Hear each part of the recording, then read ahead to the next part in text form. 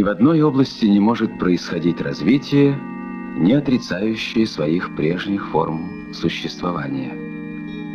Карл Маркс Развитие – это бесконечная цепь диалектических отрицаний старого состояния предметов или явлений новым. Космическая пыль и газ под действием гравитации утрачивают свои прежние формы существования и превращаются в протозвезды. В недрах протозвезды возникает термоядерная реакция, и во Вселенной – рождается звезда. Проходит время, и звезда превращается в красного гиганта, который, в свою очередь, отрицается белым карликом. Но и на этом развитие не прекращается. Белый карлик своим рождением готовит следующее отрицание. И так бесконечно. Преодоление старого новым – возникающим на основе старого, в недрах старого, и называется отрицанием. В подобной смене состояний некоторые метафизики усматривают движение стрелы развития по бесконечной прямой. Другие считают, что развитие происходит циклически, по замкнутому кругу. На первый взгляд в этом есть логика. Зерно – росток, колос и снова зерно. Круг замыкается. Но ведь старое зернышко отрицается не просто зерном, а целой пригоршней новых зерен, и все они не точная копия породившего их семени. Значит, круг замкнуться не может повторение происходит на более высоком уровне. Поэтому диалектики и рассматривают отрицание как бесконечную эстафету поступательного саморазвития предметов и явлений, в процессе которого новое вбирает в себя все положительное, что было достигнуто до него старым, причем характер и форма отрицания зависят от конкретных условий и природы явлений. Еще один пример диалектического отрицания. Примитивные ручные орудия древних земледельцев были основаны на рыхлении земли. Плуг стал новым этапом в обработке почвы. Плуг переворачивает пласт, как бы отрицая предыдущий способ.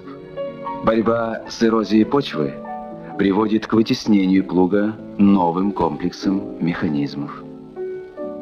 Плоскорезы не переворачивают пласт, а лишь рыхлят землю, подобно орудиям древних земледельцев. Происходит как бы отрицание первого отрицания. В новом комплексе повторяется древний принцип рыхления почвы, но, разумеется, на более высоком техническом уровне. Отрицая старое, новое сохраняет в себе его лучшие качества. Благодаря этому развитие приобретает преемственный прогрессивный характер. Или круг, или прямая – это крайности метафизиков. Диалектический материализм рассматривает процесс развития как единство поступательного и циклического движения. Развитие, как бы повторяющее пройденные уже ступени, но повторяющее их иначе, на более высокой базе, развитие по спирали, а не по прямой линии.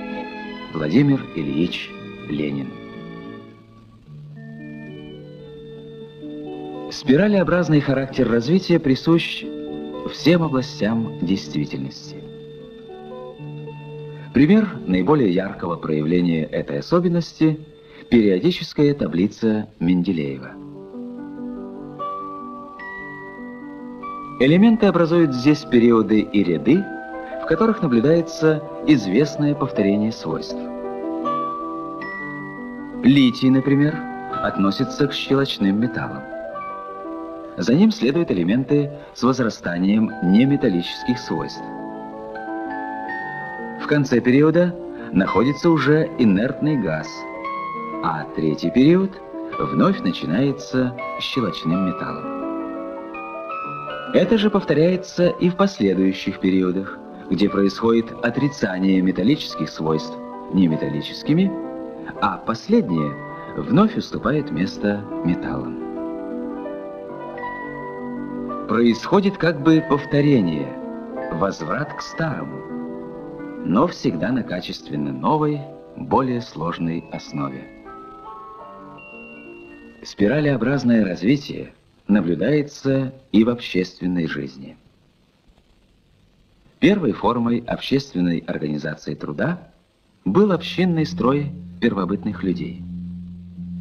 Крайне примитивные средства производства находились здесь в общем владении. Дальнейшее развитие привело к отрицанию первобытно-общинного строя классовыми эксплуататорскими обществами, рабовладельческим, феодальным, капиталистическим. На смену капитализму пришел социализм. Завершился очередной виток исторического развития. При социализме как бы повторяется коллективная собственность на средства производства, но уже на совершенно новой материально-технической и экономической основе.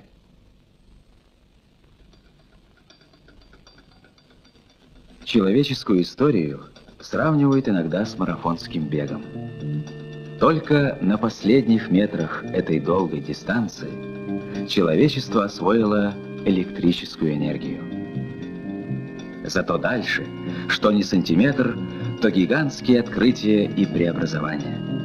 Энергия атома, компьютеры, сложные химические соединения, тайны живого организма –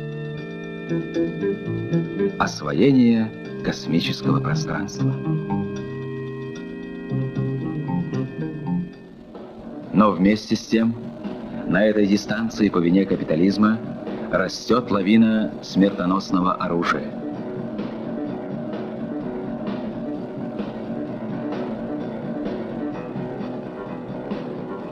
Все более ощутимо проявляют себя нарушения экологического равновесия. На Западе эти негативные явления вызвали к жизни целый поток пессимистических, апокалипсических концепций. По-иному оценивает современность материалисты диалектики. Развитие – процесс сложный, противоречивый. В нем возможны и временное отступление. Представить себе всемирную историю, идущей гладко и аккуратно вперед, без гигантских иногда скачков назад, не диалектично, не научно, теоретически неверно. Владимир Ильич Ленин. Временное отступление возможно, но невозможно остановить объективный ход исторического развития. При социализме действие стихийных разрушительных факторов предупреждается плановым характером производства, целенаправленным, сознательным творчеством масс. Закон отрицания отрицания является одним из основных законов диалектики и помогает глубже познавать предметы и явления окружающей нас действительности. Соизмеряя прошлое и настоящее, он позволяет предвидеть основные пути развития материального мира в будущем.